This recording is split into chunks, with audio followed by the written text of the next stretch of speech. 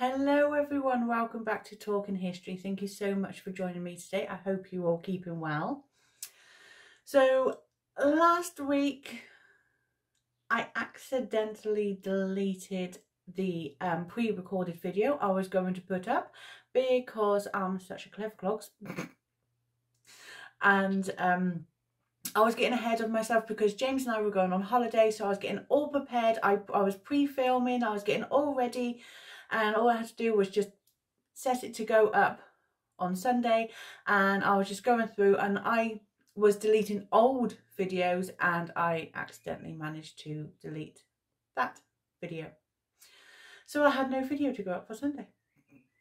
So apologies for that. Um, but anyway, I feel like we need to have a little bit of a catch up because it's been a while. I think the last video I did, I said I was going to see Johannes of um, Strictly and oh my god he was incredible absolutely amazing. That man has so much talent. It is insane. It was the show was it was beautiful it was emotional it was camp it was just brilliant. And at the end it was full on carnival mode. He come out in his heels. How that man dances his heels is in is beyond me. They danced brilliantly in heels I mean, I can barely walk in the buggers, let alone dance. But he was brilliant that he had the big feathers and the hats. Oh, it was just incredible. I absolutely loved it. It was brilliant. Absolutely brilliant.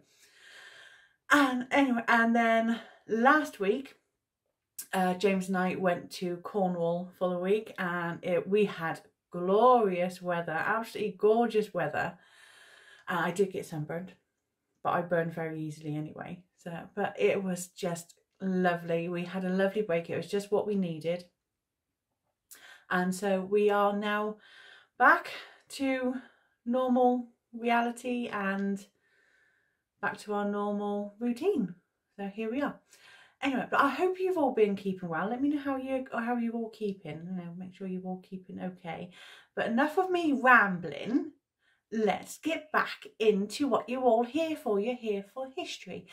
And today we have finally made it. We have made it to the lady herself, Empress Matilda. I am doing this in two parts. So this is part one. So make sure you click that subscribe button so you don't miss part two. Anyway, let's get into the video.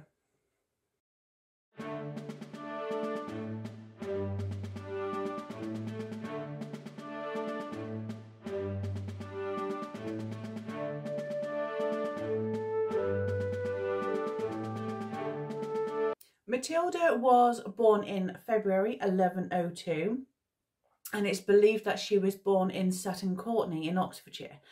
Now Matilda was born to King Henry I of England and Matilda of Scotland. Now her grandparents were William the Conqueror, Matilda of Flanders, Malcolm III of Scotland and Margaret of Wessex, through which Matilda was a direct descendant from Alfred the Great.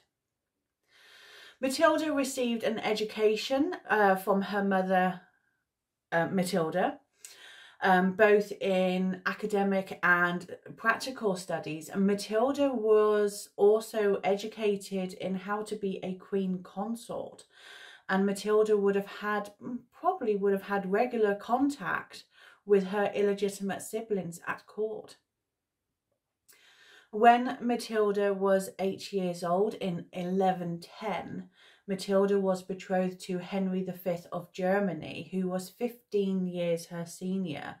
And it was quite common for in the Middle Ages to become betrothed at a very young age. Now, the Roman Empire was not yet holy at this point, but it was a very large and powerful realm in the early 12th century, it had um, it com it comprised um, the lands that are now Germany, the Netherlands, Luxembourg, Switzerland, Austria, the Czech Republic, and the northern half of Italy. Now, it also covered parts of Belgium, eastern France, western Poland, and Slovenia.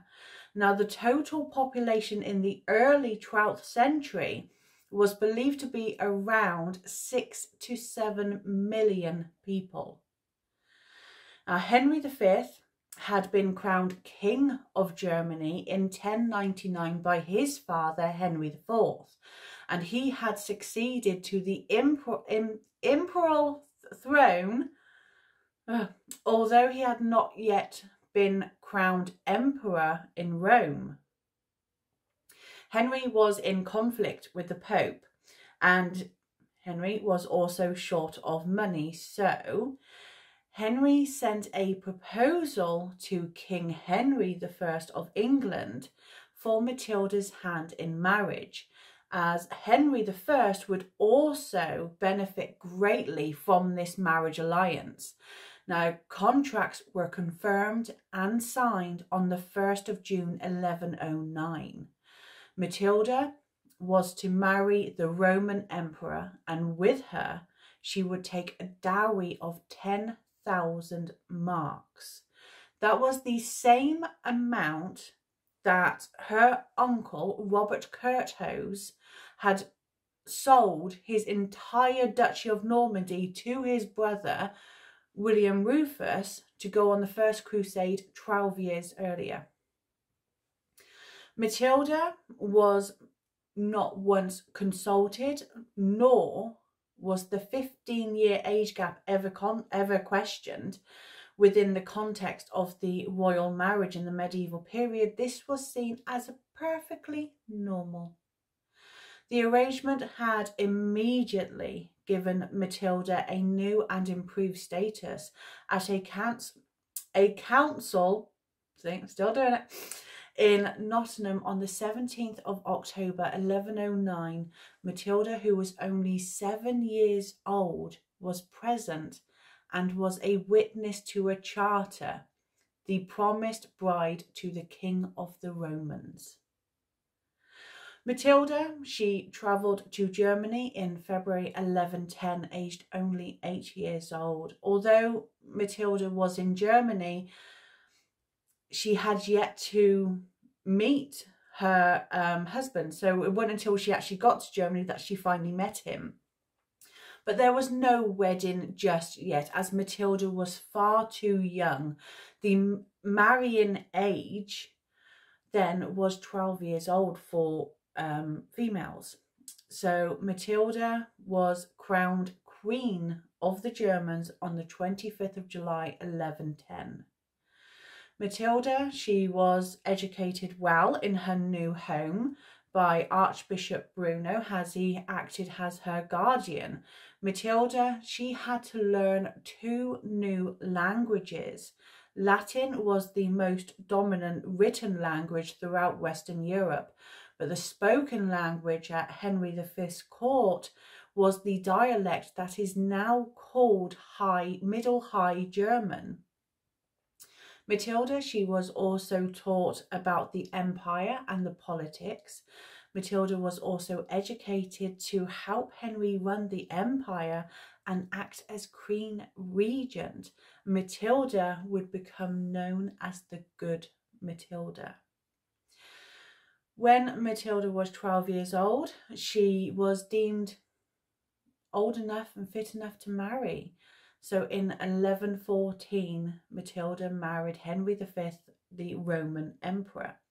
It's unknown if their marriage was consummated shortly after their wedding, but either way, Matilda never fell pregnant through their marriage, or definitely during her teenage years.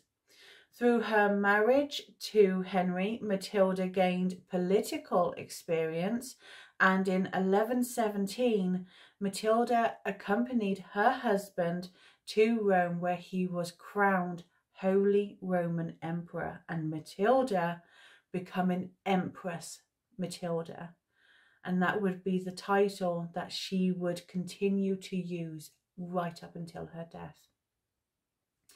In 1120, Matilda was informed of the White Ship disaster which killed her younger brother William. And it's difficult to know if or how this had affected Matilda. as Matilda was only eight years old when she left um, England, and William would have been only six. So, and in 1122, Matilda had attempted to travel back to England to visit her father, but it never happened, as Matilda would have to travel through lands that were held by Charles the Good, or Count of Flanders. Now, Flanders was the border region between the Empire and France, and Charles was a vassal for the French king, and he refused Matilda safe passage. So after the White Ship disaster, Henry I hadn't named an heir straight away.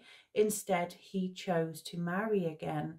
And this time he married the 18-year-old Adela Adeliza of Louvain on the 29th of January in 1121. So although Henry had married Adeliza, Henry needed to focus on his succession after the death of William Adelin. The most obvious choice, which many thought Henry would choose, was William Clito, who was the son of Robert Curthose. But Henry profoundly refused to ever elect William Clito as his successor. Henry had many other children, the eldest being Robert Fitzroy, who was the first Earl of Gloucester, who had been unwavering loyal to his father. Robert, though, he was born out of wedlock, and through the church, this was heavily frowned upon. And Robert accepted this and he never put himself forward for the throne. Henry's only other option was to look towards his sister Adela, who was the only other sibling to have produced children. Adela married Count Stephen of Blois. you know I can't pronounce it. And she was widowed. Now, Adela had four surviving sons, who was William, Theobald, Stephen and Henry, and several daughters. Adela's youngest son, Henry, had been placed in the church at only two years old. Now, Adela's eldest son, William, which there's very little known about, he was passed over to his younger brother Theobald in receiving the lands and titles of his father.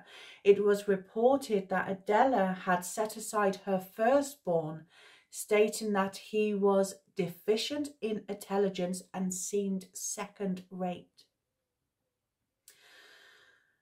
So Theobald was named Count of Blois at the age of 12 and he was later sent by his mother to Henry's court and he was joined by his brother Stephen who was knighted by Henry. Both brothers had proven loyal to their uncle.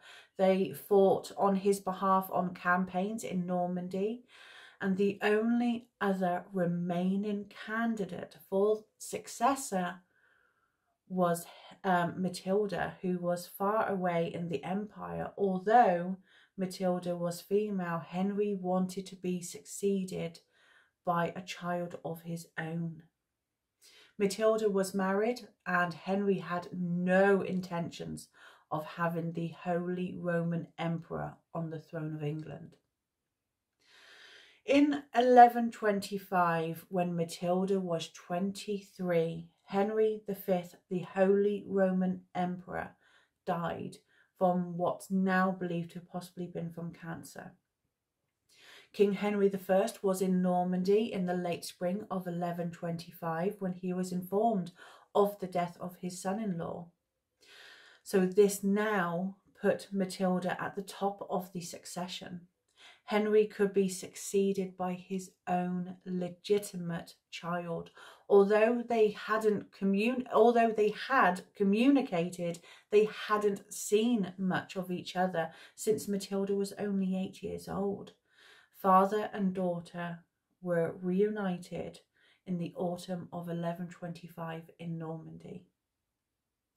Matilda, who was now back in Normandy, but after 15 years of speaking German day in and day out, there was a slight language barrier. So Matilda would have forgotten most of her her mother tongue, her natural language. But Matilda quickly learnt how to speak her natural tongue after all that time. Now, Henry's court remained in Normandy until the end of the year, and this gave Matilda time to readjust and to see how her father reigned.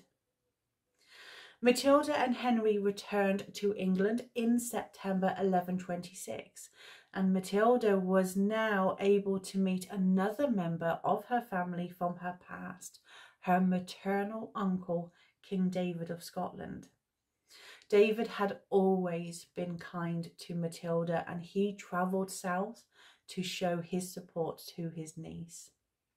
It also seems that father and daughter had remained in each other's close company over the, the past year, given it gave Henry plenty of time to get to know his now adult daughter and they grew closer. Matilda also grew closer to her half-brother Robert of Gloucester. Matilda also urged Henry to remove Henry's long imprisoned brother Robert um, Robert Curthose from the custody of Robert Bishop of Salisbury. I think I pronounced that right, hopefully. And uh, have him put in place into Robert of Gloucester's keeping so, um, to Matilda, Robert Curthose was the most important and threatening prisoner in England. So to have him in the hands of someone she trusted would be to her advantage. Now Henry, he agreed. So Robert Curthose was moved first to Bristol and then on to Cardiff, where he would remain confined for the rest of his life. When Matilda, with Matilda, sorry, by Henry's side, he held a meeting to have his barons swear their allegiance to his daughter, Empress Matilda, as his heir. Roger of Salisbury called out every bishop, abbot, earl and lord one by one to stand forward in front of King Henry, his wife Adeliza and Matilda and for them to swear in person in front of everyone. And then this way, no one could later on go, well, I was there, but I kept quiet. And say that they didn't take the oath. Stephen had gone first out of him, of Robert of Gloucester, his legitimacy given him the priority. So Henry began seeking a new husband for Matilda, and there's evidence that Henry had confided in with his son Robert of Gloucester. For Henry, these succession issues would be much simpler if Matilda married and had one or more sons and they came of age before Henry passed away. That way the throne would be able to go directly to Matilda's sons and the barons might be a little more accepting to the um, temporary rule of a woman if she were regent rather than regnant. But Henry, he was already in his late 50s. He needed to move quickly. Henry made an agreement with Fulk, well, Count of Anjou, and Matilda would marry his eldest son and heir, Geoffrey. Although Henry had Fulk's um, daughter married to William Clito annulled due to being too closely related, it meant that Matilda and Geoffrey would be related in the same degree. That um, there could have been some objections to that, but no one said a word. No one said anything. Everyone kept completely scum. So no one in England, Normandy, or France ever said a single word about it. So for Matilda, the proposed marriage was unattractive to her more on a personal level. The age difference alone. In spring 1127, Matilda was 25. Geoffrey was only 13. Matilda had lived and travelled throughout Western Europe. Geoffrey was still a young boy. Then there's the difference in status. Matilda was the daughter of a king, a widow to an emperor. Geoffrey was the son of a provincial count, and it's possible that Matilda may not have even wanted a second marriage. Now, there is some contemporary evidence that suggested Matilda had voiced her objections, and it was reported that Matilda was unwilling to agree to the marriage, and there was a letter from Hildebert, Archbishop of Tours, to Matilda expressing his wishes for, quote, for Matilda to stop causing so much distress for her father through her disobedience. Although Matilda's personal wishes were completely against the marriage, but she was sensible and she was intelligent and she knew her position would be greatly weakened if she didn't go along with her father's wishes. She also knew that a monarch was a military leader and the one thing that Matilda was never able to do was to ride into battle ahead of her troops. She would need a man to take on that role on, on her behalf, and that man really needed to be her husband. However much Matilda disliked the prospect, if she weren't to marry or not marry according to the king's will, any chances of her succeeding the throne would simply disappear. So Matilda, she put her ambitions ahead and her personal desires to the side and she agreed to the marriage. At the betrothal ceremony is when Matilda and Geoffrey met for the first time in May 1127. The wedding itself wouldn't take place just yet as Geoffrey was, was considered too young for the marrying age as the marrying age for boys was 14.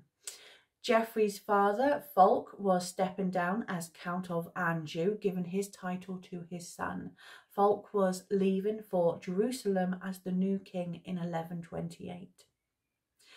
Matilda and Geoffrey, they married on the 17th of June 1128.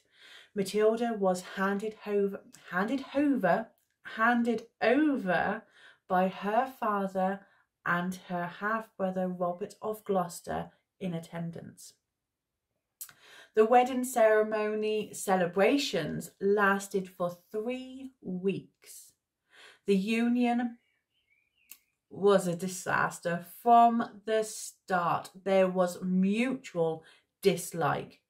The difficulties within the marriage became very clear when Matilda moved away from Anjou and returned to Normandy by the autumn of 1129. Henry was not in Normandy as he'd already returned back to England. Matilda stayed in Normandy where she continued to call herself Empress rather than Countess of Anjou. She sent letters complaining to her father and Matilda she was in no rush to return to her husband.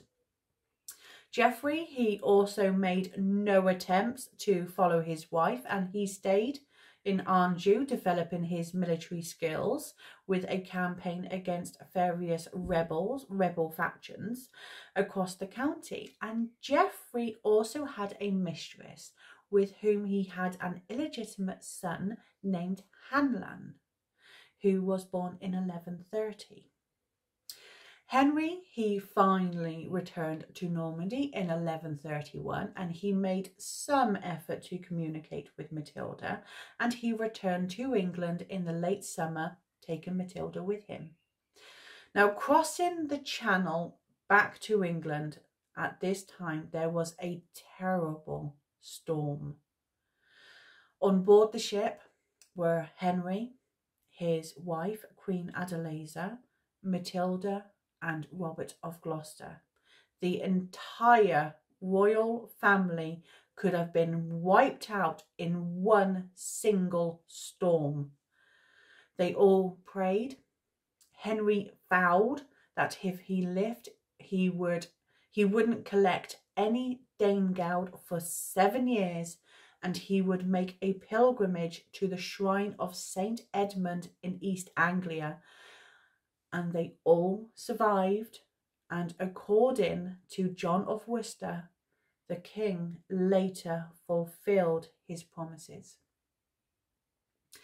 On the 8th of September 1131, Henry held a council where he had Matilda's succession oath renewed. Uh, this had taken place long after Matilda had married Geoffrey so the barons could not later complain of being kept in the dark, and also the oaths, they made no mention of Geoffrey being king. The decision was made by Henry and his barons, not Matilda, that she should return to her husband. It was reported that Geoffrey had been asking for her and he was prepared to receive her.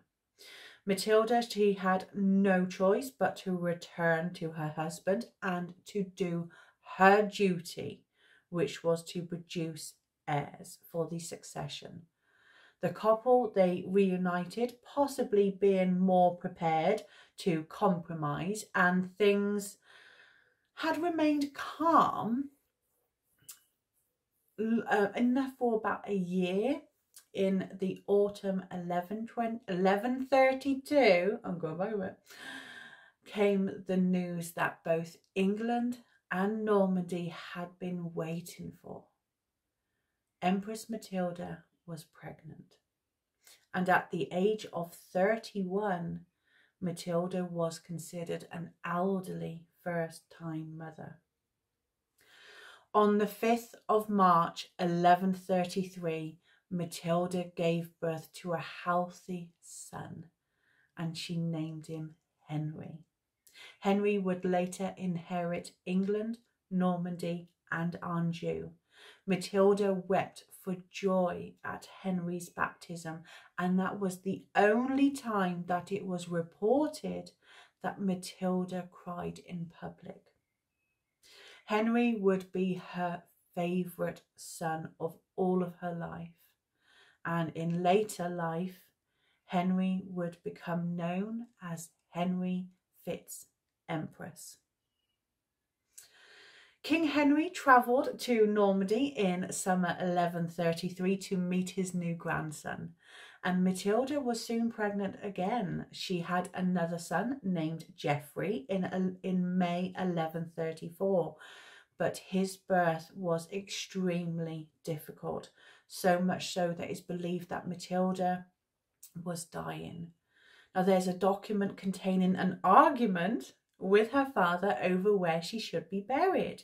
Henry wanted Matilda to rest in Rouen Cathedral, but Matilda wanted the Abbey of Bec. Matilda recovered, and at long last, she and her husband had a shared interest, their sons. A conflict was brewing between Geoffrey of Anjou and King Henry. Henry had refused to give Geoffrey any real power or even a dukedom. Geoffrey also may now have realised that he never, he's never going to be king. So Geoffrey had his sights on Normandy. Henry had promised him castles in Normandy's border through Matilda's dowry, but Henry hadn't yet handed them over, although Geoffrey and Matilda had been married for six years. Control of them should have been handed over once the wedding had taken place. But Henry, he had no intentions to give those castles to Geoffrey. Although they were only three castles, but they were important. Firstly, they was a symbol of Geoffrey's own increasing influence and rise and status and his independence from his father-in-law. And most importantly, they were a foothold that would provide any subsequent claim or to campaign in Normandy holding the castles would have security over Matilda's succession and Geoffrey's ambitions after Henry's death. Geoffrey became more insistent in his demands and this only irritated Henry even further. And Matilda, well, she was caught in the middle. But surprisingly, she chose Geoffrey. Just, and this just showing how things had changed in five years. Matilda had remained in Normandy, but in the summer of 1135, she moved back to Anjou to remain with Geoffrey whilst her father and his troops had placed themselves along the border. And in the same year, in the autumn, Matilda discovered that she was pregnant once again. In November 1135, Henry pulled back from the Anjou border just a little, where he went to his hunted lodge towards Rouen for a rest and some sport. Henry, against the advice of his doctors, had eaten a dish of eels, which disagreed with him, and he fell ill. On the Tuesday through to the Saturday, his condition worsened. Henry knew he was dying. And he confessed to his chaplain, Robert of Gloucester, had hurried to be by his father's side. And he had been ordered by Henry to take £60,000 from the treasury to pay for any outstanding wages, debts, any and any left over was to be distributed to the poor. Although Henry was suffering physically, his mind was clear. Henry's death was imminent and he made no further announcement nor written, written, written testaments. And there was a conflicting testament about what he said on his deathbed. William of Malmesbury stated that Henry had named Matilda to those barons and clergymen who were gathered around him he was to give all of his territories to his daughter. But the deeds of Stephen, which coincidentally began at this very point, states that Henry had in fact released the barons from their oaths to Matilda.